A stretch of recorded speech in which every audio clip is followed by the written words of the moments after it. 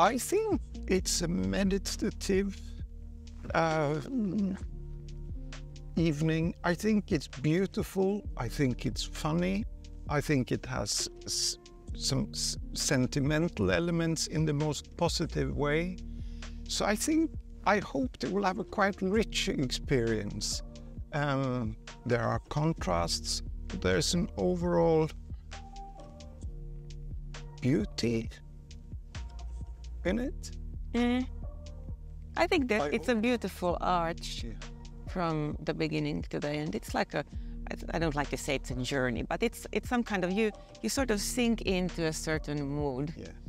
and uh, you're shaken a little bit in the middle, but then you sort of I, I think it it, it probably going to be a like a like a Gesamtkunstwerk.